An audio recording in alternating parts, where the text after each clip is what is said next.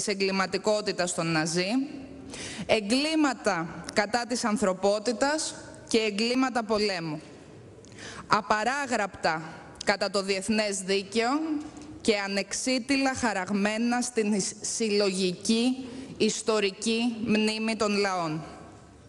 Ο ελληνικός λαός, λόγω της στεναρής, εμβληματικής αντίστασης που προέβαλε, υπέστη ανηλεή αντίπεινα, εξόντωση, εκτελέσεις, πείνα, δυστυχία, καταστροφή των υποδομών της χώρας, σύλληση των αρχαιοτήτων και ταπεινωτική υποχρέωση σε αναγκαστικό δανεισμό των δυνάμεων κατοχής. Οι μαρτυρίες των θηριωδιών και των εκτελέσεων, αλλά και οι απανταχού τόποι μνήμης θυμίζουν στους νεότερους το έπος της αντίστασης, αλλά και την ανεπούλωτη πληγή που άφησαν στη χώρα τα δεινά και οι δυνάστες του Δεύτερου Παγκοσμίου Πολέμου. Το Ελληνικό Κοινοβούλιο, επισημένοντας την ολιγορία των κυβερνήσεων να διεκδικήσουν αυτό το ιστορικό χρέος, κινητοποιήθηκε ήδη από το 2012 προκειμένου να οργανωθεί συγκροτημένα και κοινοβουλευτικά η διεκδίκηση των γερμανικών οφειλών προς την Ελλάδα. Οι Επιτροπές Οικονομικών Υποθέσεων και Εθνικής Άμυνας και Εξωτερικών Υποθέσεων, μετά από δύο κοινέ συνεδριάσεις τους, στις 20 και 28 Μαρτίου 2012, κατέληξαν στο κοινό συμπέρασμα για την ανάγκη διεκδίκησης αυτών των γερμανικών οφειλών. Το Σεπτέμβριο 2012, με την από 25 Ενάτου του 2012 επιστολή του, ο πρόεδρος της κοινοβουλευτικής ομάδας του ΣΥΡΙΖΑ και σημερινός πρωθυπουργός κύριος Αλέξης Τσίπρας ζήτησε από τον τότε πρόεδρο της Βουλής, κύριο Ευάγγελο Μεϊμαράκη, την κατάρθρο 44 του κανονισμού της Βουλής, σύσταση διακομματικής επιτροπής για την διεκδίκηση των γερμανικών αποζημιώσεων με αρμοδιότητα να συγκεντρωθούν και να τεκμηριωθούν με οργανωμένο τρόπο τα αδιαμφισβήτητα ιστορικά στοιχεία που θα καταστήσουν την ελληνική επιχειρηματολογία ικανή να διεκδικήσει τα οφειλόμενα και να συστρατεύσει και άλλες ευρωπαϊκές δυνάμεις σε αυτή την προσπάθεια. Ακολούθησε τον Οκτώβριο του 2012 η από 10 Δεκάτου του 2012 επίκαιρη επερώτηση με θέμα οι οφειλές της Γερμανίας προς την Ελλάδα που υπέβαλαν εκ μέρους του ΣΥΡΙΖΑ οι τότε βουλευτές της αξιωματικής αντιπολίτευσης Μανώλης Γλέζος, ο οποίος είχε και τη σχετική πρωτοβουλία, Αγαθοπούλου Ειρήνη, Αθανασίου Νάσος, Αλεξόπουλος Αποστόλης, Αμανατίδης Γιάννης, Αμανατίδου Λίτσα, Αποστόλου Βαγγέλης, Βαλαβάνη Νάντια, Βαμβακά Τζέννη, Βούτσης Νίκος, Γάκης Δημήτρης, Γελαλής Δημήτρης, Γερμανίδης Θανάσης, Γεροβασίλη Όλγα, Γεωργοπούλου Σαλτάρη Έφη, Δερμιτζάκης Κώστας, Διακάκη Μαρία, Διαμαντόπουλος Βαγγέλης, Διώτη Ηρώ, Δούρου Ρένα, Δρίτσα Θοδωρής, Δριτσέλη Παναγιώτα, Ζαχαριάς Κωνσταντίνος, Ζεϊμπέκ Χουσεΐν, Ζερδελής Γιάννης, Θεοπεφτάτου Αφροδίτη, Καλογερή Αγνή, Κανελοπούλου Μαρία, Καραγιουσού Φαϊχάν, Κατριβάνου Βασιλική, Καφαντάρη Χαρούλα, Κοδέλας Δημήτρης, Κοντονής Σταύρος, Κουράκης Τάσος, Κουρουπλής Παναγιώτης, Κριτσοτάκης Μιχάλης, Κωνσταντοπούλου Ζωή, Κυριακάκης Βασίλης, Λαφαζάνης Παναγιώτης, Μεϊκόπουλος Αλέξανδρος, Μητρόπουλος Αλέξης, Μιχαλάκης Νίκος, Μπάρκας Κώστας, Ξανθός Ανδρέας, Ουζουνίδου Ευγενία, Παναγούλης Στάθης, Πάντζας Γιώργος, Πετράκος Θανάσης, Σακοράφα Σοφία, Σαμοήλη Στέφανος, Σταθάς Γιάννης, Σταμπουλή Αφροδίτη, Στρατούλης Δημήτρης, Συρμαλένιος Νίκος, Τατσόπουλος Πέτρος, Τριανταφύλου Μαρία, Τσουκαλάς Δημήτρης, Φωτίου Θεανό, Χαραλαμπίδου Δέσποινα και Χατζηλάμπρου Βασίλης. Η επίκαιρη επερώτηση συζητήθηκε στην Ολομέλεια της Βουλής στη συνεδρίαση της 24ης Απριλίου του 2013 και καταγράφηκε τότε σε εκείνη την ιστορική συνεδρίαση κοινή βούληση και δέσμευση Βουλής και Κυβέρνησης για διεκδίκηση των γερμανικών οφειλών. Με την από 4 Φεβρουαρίου 2014 επιστολή του, ο τότε βουλευτής του ΣΥΡΙΖΑ Μανώλης Γλέζος επανέφερε το θέμα και το αίτημα της σύστασης της Διακομματικής Επιτροπής Διεκδίκησης των Γερμανικών Οφειλών σύμφωνα και με το εκρεμές μέχρι τότε αίτημα του Προέδρου της Κοινοβουλευτικής Ομάδας του ΣΥΡΙΖΑ που αναγόταν στο Σεπτέμβριο 2012 αλλά και τις προηγηθήσεις συνεδριάσεις των Επιτροπών Οικονομικών Υποθέσεων και Εθνικής Άμυνας και Εξωτερικών Υποθέσεων που ανάγονταν στο Μάρτιο του 2012 και τη 14η βουλευτική περίοδο αλλά και την μεσολαβήσασα συζήτηση στην Ολομέλεια επί της επίκαιρης επερώτησης των βουλευτών του ΣΥΡΙΖΑ που αναγόταν στον Απρίλιο του 2013 και τη 15η βουλευτική περίοδο. Η πρόταση του Πρόεδρου του ΣΥΡΙΖΑ έγινε ομόφωνα αποδεκτή από την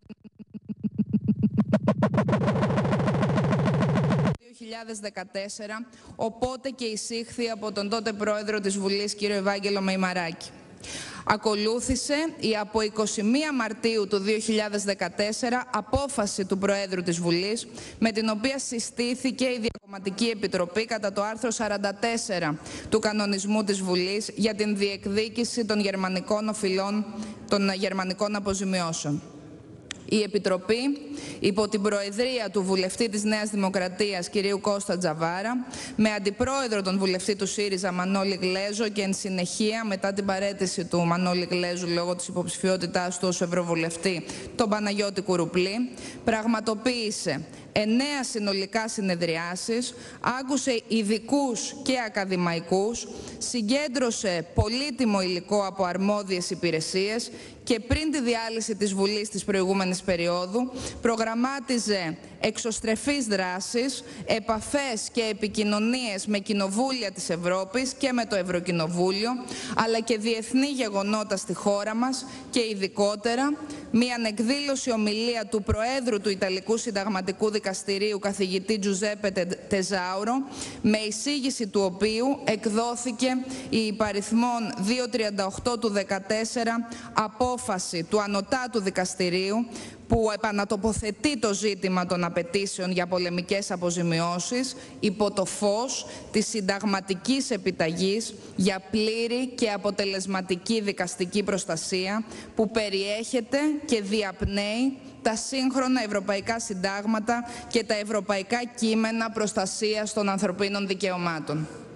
Επίσης προγραμμάτιζε διεθνές συνέδριο με αντικείμενο την διεκδίκηση των γερμανικών οφειλών με την συμμετοχή προσωπικότητων παγκόσμιας εμβέλειας.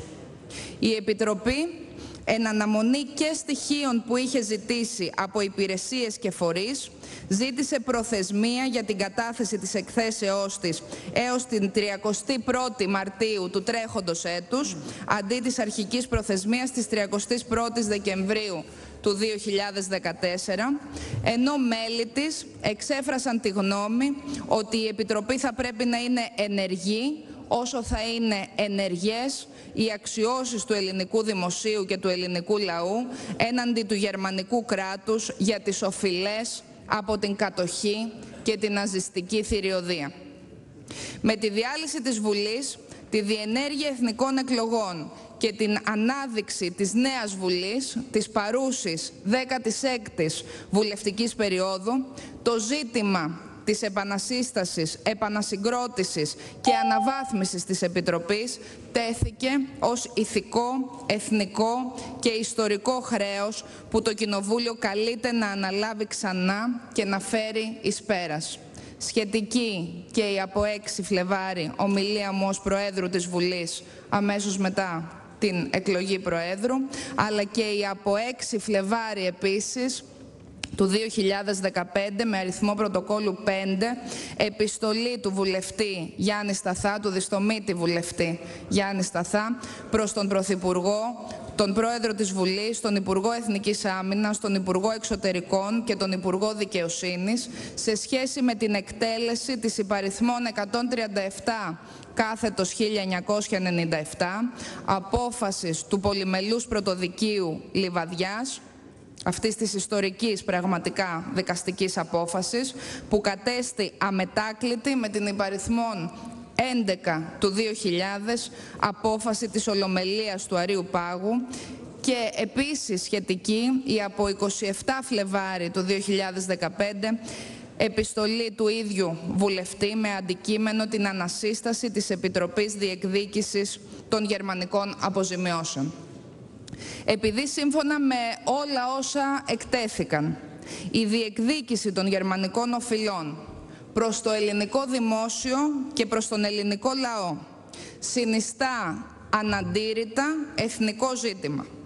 Επειδή αποτελεί πανθομολογούμενη παραδοχή η ανάγκη ενεργοποίησης και του Κοινοβουλίου στην υπόθεση αυτή.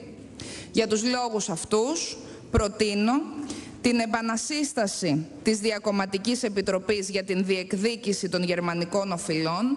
πολεμικών αποζημιώσεων, επανορθώσεων, αποπληρωμής του κατοχικού δανείου, επιστροφής των κλεμμένων αρχαιολογικών θησαυρών, με αρμοδιότητα τη συνέχιση και ολοκλήρωση της συγκέντρωσης και τεκμηρίωσης με οργανωμένο τρόπο των αδιαμφισβήτητων ιστορικών στοιχείων που θα ενισχύσουν αποτελεσματικά την ελληνική επιχειρηματολογία για τη διεκδίκηση των οφειλωμένων και την συστράτευση και άλλων ευρωπαϊκών δυνάμεων και διεθνών οργανισμών σε αυτήν την προσπάθεια, συμπεριλαμβανομένης της προς το σκοπό αυτό πραγματοποίησης επαφών με άλλα ευρωπαϊκά κοινοβούλια και με το Ευρωκοινοβούλιο, αλλά και με ευρωπαϊκά και διεθνή όργανα που έχουν αντιμετωπίσει ανάλογες περιπτώσεις, καθώς και της διοργάνωσης συνεδρίων και διαλέξεων για το ζήτημα αυτό, με σκοπό την ευαισθητοποίηση της ευρωπαϊκής κοινή γνώμης. Τη συγκρότησή της με συμμετοχή της Προέδρου της Βουλής και των Αντιπροέδρων της Βουλής κατά το πρότυπο της Επιτροπής του άρθρου 49α του κανονισμού της Βουλής ή των αναπληρωτών τους και με μέρημνα για αναλογική εκπροσώπηση όλων των κοινοβουλευτικών ομάδων και τουλάχιστον ενός βουλευτή από κάθε κοινοβουλευτική ομάδα σύμφωνα με τους ειδικότερους ορισμούς του κανονισμού της Βουλής την μη εφαρμογή του άρθρου 37 παράγραφος 2 του κανονισμού της Βουλής για τις συνεδριάσεις της Επιτροπής, σημειώνοντας ότι και τα μέλη της Επιτροπής της προηγούμενης βουλευτικής περίοδου αποφάσισαν η συμμετοχή τους να είναι άνευ αποζημιώσεως τον ορισμό της 15ης Ιουλίου του 2015 ως προθεσμίας υποβολής του πρώτου πορίσματος της Επιτροπής με δυνατότητα εντεύθεν ανανέωσης της εντολής και της θητείας της. Κυρίες και κύριοι συνάδελφοι, η πρόταση αυτή εισάγεται στο σώμα σύμφωνα με το άρθρο 41 44, παράγραφος 1 του κανονισμού, που προβλέπει ότι η Βουλή μπορεί με απόφασή της, ύστερα από πρόταση της κυβέρνησης ή του Προέδρου της Βουλής ή των Προέδρων των κοινοβουλευτικών ομάδων να συνιστά επιτροπή από μέλη της για τη μελέτη εθνικών ή γενικότερου ενδιαφέροντος ζητημάτων. Θυμίζω ότι σύμφωνα με το ίδιο άρθρο 44, οι επιτροπές για εθνικά ή γενικότερου ενδιαφέροντο ζητήματα αποτελούνται από το 1 εικοστό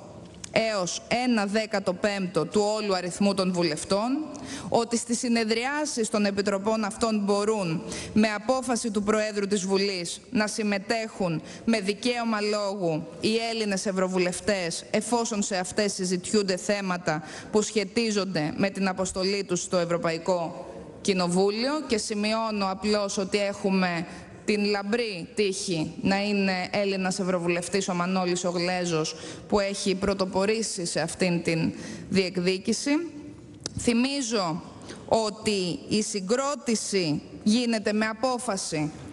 του ή της Προέδρου της Βουλής μετά από την απόφαση της Ολομέλειας και ότι εφαρμόζονται αναλογικά όλες οι διατάξεις που προβλέπουν την συγκρότηση και την αναλογική εκπροσώπηση των κοινοβουλευτικών ομάδων. Και σας προτείνω να προχωρήσουμε στην διεξαγωγή της συζήτησης σύμφωνα με την ε, διαδικασία του άρθρου 137 παράγραφος 2 του κανονισμού της Βουλής, δηλαδή με την διαδικασία της γενικευμένης επερώτησης, σύμφωνα με όσα έχουν τηρηθεί και στο παρελθόν και προκειμένου να έχουμε ε, μια συνολική εκπροσώπηση και αποτύπωση της Βουλής.